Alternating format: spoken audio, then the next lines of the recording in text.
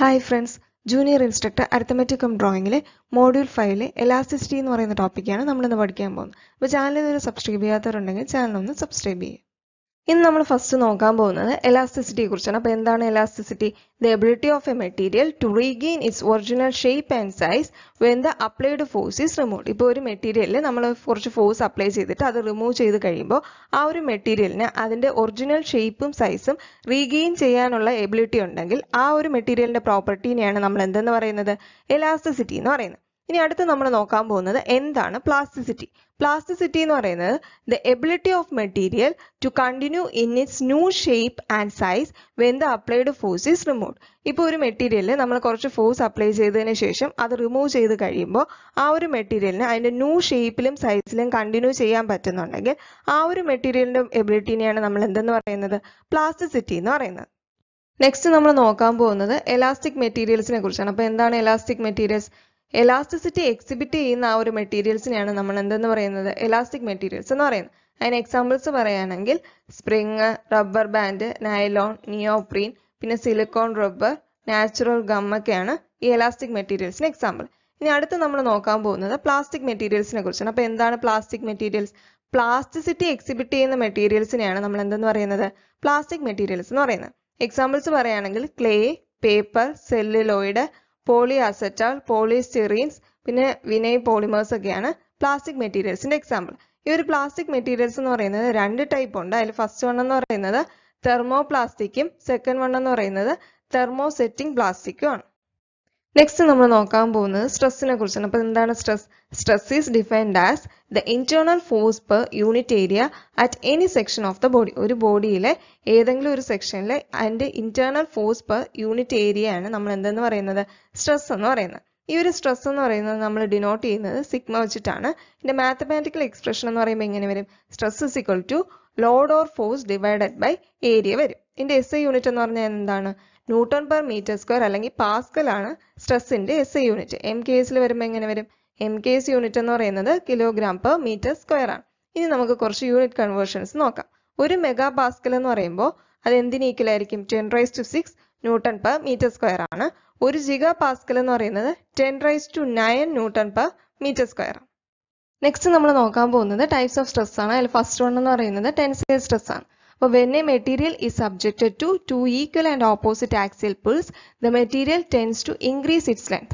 The resistance offered against this increase in length is called tensile stress. അപ്പോൾ tensile stress എന്ന് പറയുമ്പോൾ നമ്മളിപ്പോൾ ഒരു മെറ്റീരിയൽ എടുത്തിട്ട് അതിന് ഈക്വൽ ആയിട്ട് ഓപ്പോസിറ്റ് ആയിട്ട് നമ്മൾ വലിക്കുവാണെങ്കിൽ അവിടെ ഒരു ഇൻക്രീസ് ഇൻ ലെങ്തിലുള്ള ഒരു ടെൻഡൻസിയാണ് അവിടെ ഉണ്ടാവുന്നത് അപ്പോൾ എത്രത്തോളം ലെങ്ത് അതിനെ ഇൻക്രീസ് ചെയ്യാതെ അതിന് റെസിസ്റ്റൻസ് ഓഫർ ചെയ്യുന്നുണ്ടോ അതിനെയാണ് നമ്മൾ എന്തെന്ന് പറയുന്നത് ടെൻസൈൽ സ്ട്രെസ് എന്ന് പറയുന്നത് ഇനി അതിനെ നമുക്ക് എങ്ങനെ മാത്തമാറ്റിക്കൽ എക്സ്പ്രസ് ചെയ്യാം?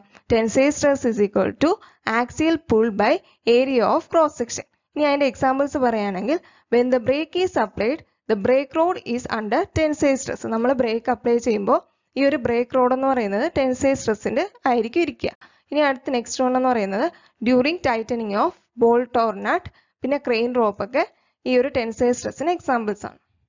ടൈപ്സ് ഓഫ് സ്ട്രെസ്സിൽ സെക്കൻഡ് വൺ എന്ന് പറയുന്നത് കംപ്രഷൻ സ്ട്രെസ് ആണ്. അപ്പോൾ എന്താണ് compression stress when a material is subject to to equal and opposite axial pushes the material tends to decrease its length the resistance offered against decrease in length is called compressive stress അപ്പോൾ compressive stress എന്ന് പറയുമ്പോൾ ഒരു material എടുത്തിട്ട് അതിൽ equal ആയിട്ടും opposite ആയിട്ടും axial pushes കൊടുക്കുകയാണെങ്കിൽ ആ മെറ്റീരിയൽ എന്ത് ചെയ്യും?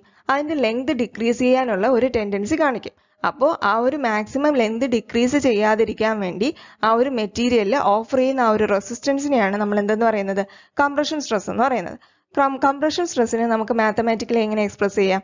Compression stress is equal to axial push divided by area of cross section അതിന് എക്സാമ്പിൾസ് പറയുകയാണെങ്കിൽ compressive stress on connecting rod on first part of power stroke പിന്നെ compressive stress on push rod during valve opening പിന്നെ clutch lining when clutch is engage ഇതൊക്കെയാണ് compression സ്ട്രെസ്സിന്റെ examples types of സ്ട്രെസ്സിൽ third one എന്ന് പറയുന്നത് shear stress ആണ്. അപ്പോൾ എന്താണ് shear stress when a material is subjected to to equal and opposite forces acting tangentially across the cross section the body tends to be shear off across the section the stress included is called shear stress അപ്പോൾ എന്താണ് shear stress ഇപ്പോൾ ഒരു മെറ്റീരിയലിൽ അതിന്റെ cross സെക്ഷനിൽ across ആയിട്ട് equal ആയിട്ടും ഓപ്പോസിറ്റും ആയിട്ടുള്ള ഫോഴ്സസ് ടാൻജൻഷ്യലി ആക്ട് ചെയ്യുവാണെങ്കിൽ എന്ത് ചെയ്യും? ആ ഒരു ബോഡി എന്ത് ചെയ്യും? ഷിയർ ഓഫ് ചെയ്ത് പോകാൻ ശ്രമിക്കും. അപ്പോൾ ഫോം ചെയ്യുന്ന ആ ഒരു സ്ട്രെസ്സിനെയാണ് നമ്മൾ എന്തെന്ന് പറയുന്നത്?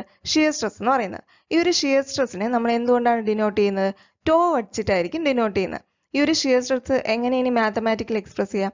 Shear stress tau is equal to F by A അതിന്റെ യൂണിറ്റ് എന്ന് പറയുന്നത് ന്യൂട്ടൺ പെർ മീറ്റർ സ്ക്വയർ അല്ലെങ്കിൽ കിലോഗ്രാം പെർ മീറ്റർ സ്ക്വയർ ആയിരിക്കും. ഇതിന്റെ എക്സാമ്പിൾസ് എന്ന് പറയുന്നത് rivets axial shaft gear box shaft ഒക്കെയാണ് ഷിയർ സ്ട്രെസ്സിന്റെ എക്സാമ്പിൾ ടൈപ്സ് ഓഫ് സ്ട്രെസ്സിൽ ഫോർത്ത് വൺ എന്ന് പറയുന്നത് ടോർഷണൽ സ്ട്രെസ് ആണ് അപ്പോൾ എന്താണ് torsional stress when a shaft is subjected to the action of two equal and opposite couples acting in parallel planes, then the shaft is said to be in torsion.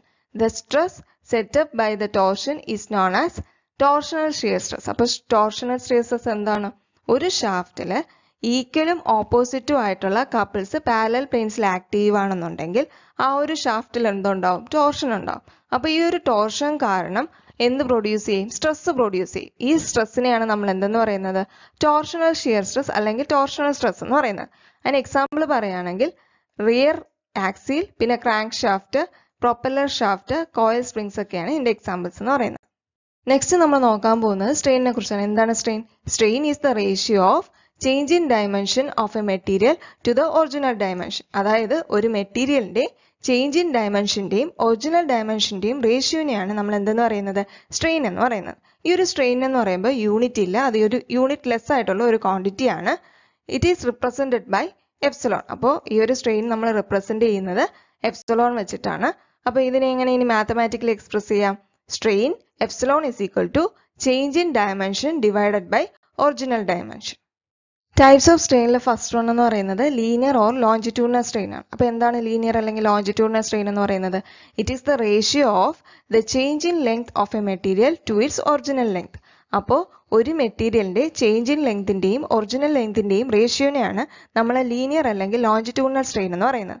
ഇനി നമുക്ക് ഇനി എങ്ങനെ mathematical express ചെയ്യാം? Linear strain is equal to changing length divided by original length അതായത് delta L by L ആണ് അതിന്റെ equation എന്ന് പറയുന്നത്. ടൈപ്സ് ഓഫ് സ്ട്രെയിനിലെ സെക്കൻഡ് വൺ എന്ന് പറയുന്നത് ലാറ്ററൽ സ്ട്രെയിൻ ആണ്. അപ്പൊ എന്താണ് lateral strain it is the ratio of change in dimension other than length of a material to its dimension അതായത് ലാറ്ററൽ സ്ട്രെയിൻ എന്ന് പറയുന്നത് ചേഞ്ച് ഇൻ ഡയമെൻഷന്റെയും ഒറിജിനൽ ഡയമെൻഷന്റെയും റേഷ്യോ തന്നെയാണ്. പക്ഷെ അതിലൊരിക്കലും ലെങ്ത് ഡയമെൻഷൻ വരില്ല. അപ്പോൾ ഇതിന്റെ മാത്തമാറ്റിക്കൽ എക്സ്പ്രഷൻ എങ്ങനെ വരും?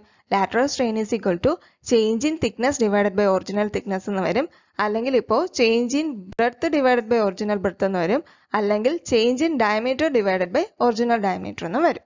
ടൈസോ സ്ട്രെയിനിൽ തേർഡ് വൺ എന്ന് പറയുന്നത് ഓളിയോമെട്രിക് സ്ട്രെയിൻ ആണ്. അപ്പോൾ എന്താണ് volumetric strain it is the ratio between change in volume of a material to its original volume അതായത് ഒരു മെറ്റീരിയലിന്റെ ചേഞ്ച് ഇൻ വോളിയത്തിന്റെയും ഒറിജിനൽ വോളിയത്തിന്റെയും റേഷ്യോനെയാണ് നമ്മൾ എന്തെന്ന് പറയുന്നത്? ഓളിയോമെട്രിക് സ്ട്രെയിൻ എന്ന് പറയുന്നത്. നമുക്ക് ഇതിനെ എങ്ങനെ മാത്തമാറ്റിക്കലി എക്സ്പ്രസ് ചെയ്യാം? Volumetric strain is equal to change in volume divided by original volume അതായത് ഡെൽറ്റ വി ബൈ വി എന്ന് വരും.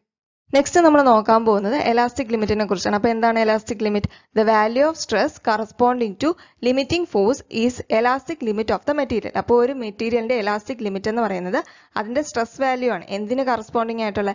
ലിമിറ്റിംഗ് ഫോഴ്സിന് കറസ്പോണ്ടിങ് ആയിട്ടുള്ള സ്ട്രെസ് വാല്യൂ ആണ് ഒരു മെറ്റീരിയലിന്റെ എലാസ്റ്റിക് ലിമിറ്റ് എന്ന് പറയുന്നത്. ഇപ്പോൾ ഒരു മെറ്റീരിയലിൽ എക്സ്റ്റേണൽ ഫോഴ്സ് എന്ന് പറയുന്നത് ഒരുപാട് കൂടുതലാണെന്നുണ്ടെങ്കിൽ അതിലെ സ്ട്രെസ് ലിമിറ്റ് എന്ന് പറയുന്നത് എക്സീഡ് ചെയ്യും അപ്പോഴേക്കും ആ ഒരു മെറ്റീരിയലിന്റെ എലാസ്റ്റിക് പ്രോപ്പർട്ടി എന്ന് പറയുന്നത് ലോസ് ആവും. നെക്സ്റ്റ് നമ്മൾ നോക്കാൻ പോകുന്നത് ഹൂക്സ് ലോനെ കുറിച്ചാണ്. അപ്പൊ എന്താണ് Hooke's law? According to Hooke's law within the elastic limit stress is directly proportional to strain അപ്പൊ ഹൂക്സ് ലോ എന്താണ്? എലാസ്റ്റിക് ലിമിറ്റിലെ സ്ട്രെസ് എന്ന് പറയുന്നത് സ്ട്രെയിനിന് ഡയറക്ട്ലി പ്രൊപ്പോർഷണൽ ആണ്. ഈ ഒരു സ്ട്രെസ്സും സ്ട്രെയിനും തമ്മിലുള്ള ഈ ഒരു റിലേഷൻഷിപ്പ് വരുന്ന ഈ ഒരു ഹൂക്സ് ലോ ഡിസ്കവർ ചെയ്ത ആരാണ്? റോബർട്ട് ഹൂക്ക് ആണ്. അപ്പൊ എക്സ്പ്രഷൻ എങ്ങനെ വരും? Stress by strain is equal to a constant ഈ ഒരു കോൺസ്റ്റന്റ് മാറ്റാൻ വേണ്ടിയാണ് നമ്മൾ എന്ത് കൊടുക്കുന്നത്? ഇ കൊടുക്കുന്നത്. അപ്പൊ ഇക്വേഷൻ എങ്ങനെ വരും? Young's modulus E is equal to stress by strain എന്ന് വരും. എലാസ്റ്റിക് കോൺസ്റ്റൻസിൽ ഫസ്റ്റ് വൺ എന്ന് പറയുന്നത് Young's modulus or modulus of elasticity ആണ്. ഇതെന്താണ്? It is the ratio of stress or strain within the elastic limit elastic ലിമിറ്റിൽ സ്ട്രെസ്സിന്റെയും സ്ട്രെയിനിന്റെയും റേഷ്യോനെയാണ് നമ്മൾ എന്തെന്ന് പറയുന്നത്? യങ്സ് മോഡുലസ് അല്ലെങ്കിൽ മോഡുലസ് ഓഫ് എലാസ്റ്റിസിറ്റി എന്ന് പറയുന്നത്. ഇത് റിപ്രസെന്റ് ചെയ്യുന്നത് ക്യാപിറ്റൽ ലെറ്റർ ഇ വെച്ചിട്ടാണ്. ഇതിനെ ഇനി എങ്ങനെ മാത്തമാറ്റിക്കൽ എക്സ്പ്രസ് ചെയ്യാം? Young's modulus E is equal to stress by strain അതായത് സിഗ്മ ബൈ എഫ്സലോൺ ഈ ഒരു യങ്സ് മോഡുലസിന്റെ യൂണിറ്റ് എന്താണ്? അതിന്റെ യൂണിറ്റ് എന്ന് പറയുന്നത് സ്ട്രെസ്സിന് സെയിം ആണ്. അതായത് ഇതിന്റെ എസ് യൂണിറ്റ് എന്ന് പറയുന്നത് ന്യൂട്ടൺ പെർ മീറ്റർ സ്ക്വയർ അല്ലെങ്കിൽ പാസ്കലാണ് എലാസ്റ്റിക് കോൺസ്റ്റൻസിലെ സെക്കൻഡ് വൺ എന്ന് പറയുന്നത് മോഡുലസ് ഓഫ് റിജിഡിറ്റി ആണ്. അപ്പോൾ എന്താണ് modulus of rigidity it is the ratio of shear stress to shear strain അപ്പോൾ ഈ ഒരു മോഡുലസ് ഓഫ് റിജിഡിറ്റി എന്ന് പറയുന്നത് ഷിയർ സ്ട്രെസ്സിന്റെയും ഷിയർ സ്ട്രെയിനിന്റെയും റേഷ്യോനെയാണ് നമ്മൾ മോഡുലസ് ഓഫ് റിജിഡിറ്റി എന്ന് പറയുന്നത്. ഇത് നമ്മൾ റെപ്രസെന്റ് ചെയ്യുന്നത് ഒന്നേ ക്യാപിറ്റൽ ലെറ്റർ എൻ യൂസ് ചെയ്തിട്ടാവാം അല്ലെങ്കിൽ ക്യാപിറ്റൽ ജി യൂസ് ചെയ്തിട്ടാവാം അല്ലെങ്കിൽ ക്യാപിറ്റൽ സി യൂസ് ചെയ്തിട്ടാവാം. അപ്പോൾ ഈ ഒരു മോഡുലസ് ഓഫ് റിജിഡിറ്റിനെ നമുക്ക് എങ്ങനെ മാത്തമാറ്റിക്കലി എക്സ്പ്രസ് ചെയ്യാം? Modulus of rigidity N is equal to shear stress by shear strain elastic കോൺസ്റ്റൻസിലെ third one എന്ന് പറയുന്നത് ബൾക്ക് മോഡുലസ് ആണ്. അപ്പോൾ ബൾക്ക് മോഡുലസ് എന്ന് പറയുന്നത് it is the ratio of volumetric stress to the volumetric strain അപ്പോൾ volumetric സ്ട്രെസ്സിന്റെയും ഓളിയോമെട്രിക് സ്ട്രെയിനിന്റെയും റേഷ്യോനെയാണ് നമ്മൾ എന്തെന്ന് പറയുന്നത്? ബൾക്ക് മോഡുലസ് എന്ന് പറയുന്നത്. ഈ ഒരു ബൾക്ക് മോഡുലസ് എന്ന് പറയുന്നത് നമ്മൾ റെപ്രസെന്റ് ചെയ്യുന്നത് ക്യാപിറ്റൽ ലെറ്റർ കെ യൂസ് ചെയ്തിട്ടായിരിക്കും.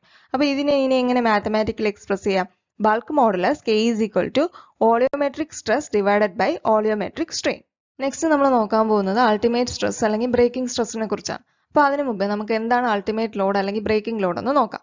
അപ്പോൾ അൾട്ടിമേറ്റ് ലോഡ് അല്ലെങ്കിൽ ബ്രേക്കിംഗ് ലോഡ് എന്ന് പറയുന്നത് the minimum load at which a material develops failure is called ultimate load അല്ലെങ്കിൽ ബ്രേക്കിംഗ് ലോഡ് അപ്പോൾ ഒരു മെറ്റീരിയലിൽ ഫെയിലിയർ ഡെവലപ്പ് ചെയ്യാൻ ആവശ്യമായിട്ടുള്ള ആ ഒരു മിനിമം ലോഡിനെയാണ് നമ്മൾ അൾട്ടിമേറ്റ് ലോഡ് അല്ലെങ്കിൽ ബ്രേക്കിംഗ് ലോഡ് എന്ന് പറയുന്നത്. ഇനി നമുക്ക് എന്താണ് അൾട്ടിമേറ്റ് സ്ട്രെസ് അല്ലെങ്കിൽ ബ്രേക്കിംഗ് സ്ട്രെസ് എന്ന് നോക്കാം.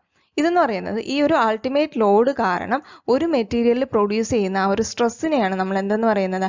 അൾട്ടിമേറ്റ് സ്ട്രെസ് അല്ലെങ്കിൽ ബ്രേക്കിംഗ് സ്ട്രെസ് എന്ന് പറയുന്നത്. ഇത് ഇനി എങ്ങനെ നമുക്ക് മാത്തമാറ്റിക്കലി എക്സ്പ്രസ് ചെയ്യാൻ നോക്കാം. Ultimate stress is equal to ultimate load divided by area of cross section next നമ്മൾ നോക്കാൻ പോകുന്നത് എന്താണ് വർക്കിംഗ് സ്ട്രെസ് അല്ലെങ്കിൽ സേഫ് സ്ട്രെസ് ആണ്. അതിനു മുമ്പ് നമുക്ക് എന്ത് നോക്കാം? സേഫ് ലോഡ് അല്ലെങ്കിൽ വർക്കിംഗ് ലോഡ് എന്താണെന്ന് നോക്കാം. The load which is considered safe for the machine element is safe load or working load അപ്പോൾ സേഫ് ലോഡ് അല്ലെങ്കിൽ വർക്കിംഗ് ലോഡ് എന്ന് പറയുന്നത് ഒരു മെഷീൻ എലമെന്റ് സേഫ് ആയിട്ട് കൺസിഡർ ചെയ്യുന്ന ആ ഒരു ലോഡിനെയാണ് നമ്മൾ സേഫ് ലോഡ് അല്ലെങ്കിൽ വർക്കിംഗ് ലോഡ് എന്ന് പറയുന്നത്. അപ്പോൾ ഈ ഒരു മെഷീൻ എലമെന്റ് കൺസിഡർ ചെയ്ത ഈ ഒരു സേഫ് ലോഡ് കാരണം പ്രൊഡ്യൂസ് ചെയ്യുന്ന ആ ഒരു സ്ട്രെസ്സിനെയാണ് നമ്മൾ എന്തെന്ന് പറയുന്നത്? സേഫ് സ്ട്രെസ് അല്ലെങ്കിൽ വർക്കിംഗ് സ്ട്രെസ് എന്ന് പറയുന്നത്. ഇനി നമുക്ക് ഇത് എങ്ങനെ മാത്തമാറ്റിക്കലി എക്സ്പ്രസ് ചെയ്യുമെന്ന് നോക്കാം. അപ്പോൾ working stress is equal to working load divided by area of cross section ആണ് ഇതിന്റെ മാത്തമാറ്റിക്കൽ എക്സ്പ്രഷൻ എന്ന് പറയുന്നത്. നെക്സ്റ്റ് നമ്മൾ നോക്കാൻ പോകുന്നത് ഫാക്ടർ ഓഫ് സേഫ്റ്റിനെ കുറിച്ചാണ്. അപ്പോൾ എന്താണ് factor of safety it is the ratio of ultimate stress to working stress അപ്പോൾ ഇതെന്ന് പറയുന്നത് അൾട്ടിമേറ്റ് സ്ട്രെസ്സിന്റെയും വർക്കിംഗ് സ്ട്രെസ്സിന്റെയും റേഷ്യോനെയാണ് നമ്മൾ ഫാക്ടർ ഓഫ് സേഫ്റ്റി എന്ന് പറയുന്നത്. ഇതിനി എങ്ങനെ മാത്തമാറ്റിക്കലി എക്സ്പ്രസ് ചെയ്യും നോക്കാം. അപ്പോൾ factor of safety is equal to ultimate stress divided by working stress അല്ലെങ്കിൽ ultimate load divided by working load എന്നും പറയാം. ഇതിനെന്ന് പറയുമ്പോൾ യൂണിറ്റ് ഇല്ല. ഇതെന്ന് പറയുന്നത് ഒരു യൂണിറ്റ്ലെസ് ആയിട്ടുള്ള ഒരു ക്വാണ്ടിറ്റി ആണ്. ഇതെന്ന് പറയുന്നത് എപ്പോഴും ഒരു നമ്പർ ആയിരിക്കും. അപ്പോൾ ഇതോടെ ഇന്നത്തെ ക്ലാസ് കഴിഞ്ഞു. അപ്പോൾ ക്ലാസ് ഇഷ്ടമെങ്കിൽ ലൈക്ക് ചെയ്യുക ഷെയർ ചെയ്യുക സബ്സ്ക്രൈബ് ചെയ്യുക. താങ്ക്